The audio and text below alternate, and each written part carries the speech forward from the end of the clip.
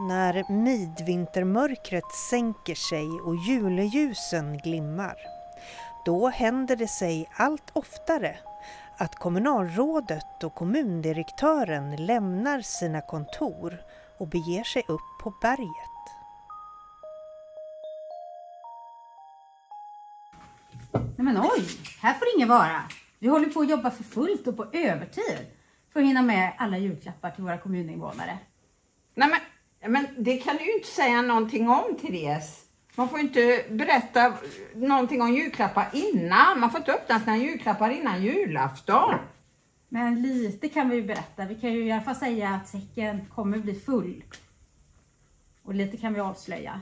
Som till exempel att vi, kommer, vi håller på att hyra på ett fantastiskt jubileumsprogram med aktiviteter som kommer passa alla åldrar och smaker.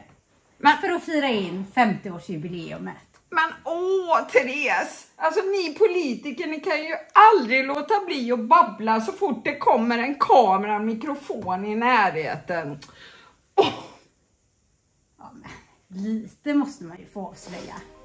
Okej okay, I alla fall när man fyller 50 år. Okej okay, då. Men ska vi önska dem god jul då? Ja men det tycker jag. Ja. Från, Från oss alla i Sotenäs kommun till er alla en riktigt god jul.